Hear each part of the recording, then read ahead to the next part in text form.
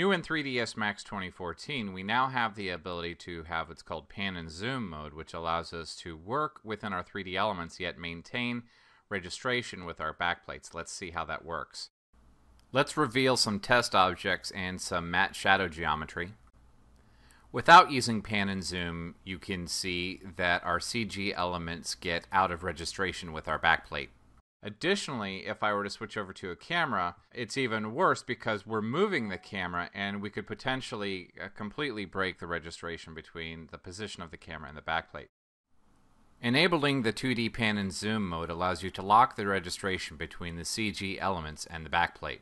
So once I begin to pan and zoom, you can see that the backplate is now moving with my uh, camera as I move around, and I can even work with the zoom feature and zoom in on objects and my backplate goes with it. We get feedback up here in the viewport label that tells us what zoom percentage we're at. And since it's a move, I can simply undo my move and return us to the original position.